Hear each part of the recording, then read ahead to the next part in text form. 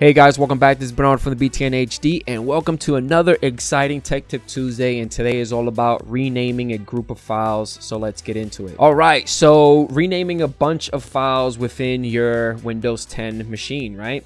So on my desktop, I have a folder called BTNHD. We're going to double click on it to open it up. As you can see, I got a bunch of Word documents, text files, and a PDF. Now, to rename, there's a couple ways to rename, right?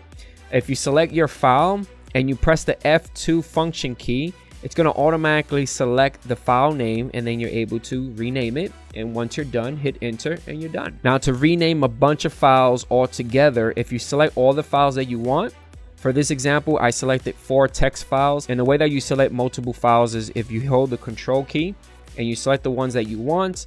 And again, if you press F2, the function key, it's going to select one of the files. And this allows you to rename it for example, I renamed it as BTNHD-1. And if you hit enter, it's going to rename all the files that you selected to BTNHD-1, but with a number sequence. Now, this works great if you are uh, naming a particular file like chapter 1, chapter 2, chapter 3. You could do it that route. Now, another way to rename your files uh, is if you select your file or multiple files.